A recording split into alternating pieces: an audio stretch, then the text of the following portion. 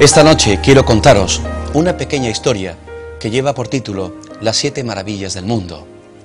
A un grupo de jóvenes alumnos de una escuela primaria se les pidió que escribieran lo que ellos pensaban, cuáles eran las siete maravillas del mundo moderno, del mundo actual. A pesar de ciertas diferencias, los siguientes fueron los que más votos recibieron.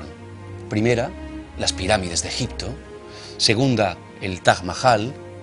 Tercera, el Gran Cañón del Colorado, cuarta, el Canal de Panamá, quinta, el edificio Empire State de Nueva York, sexta, la Basílica de San Pedro en el Vaticano y séptima, la Gran Muralla China.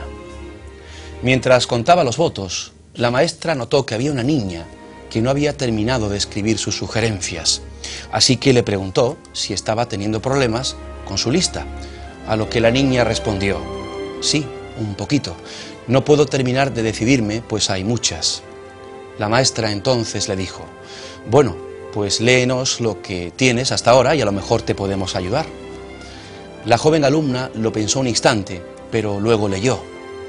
Yo pienso que las siete maravillas del mundo son, primera, poder ver, segunda, poder oír, tercera, poder tocar, cuarta, poder probar, Quinta, poder sentir. Sexta, poder reír. Y séptima, poder amar. El aula se silenció a tal punto que si se hubiera caído un alfiler, se hubiera escuchado. Las cosas simples y ordinarias que nosotros tomamos como triviales son sencillamente maravillosas.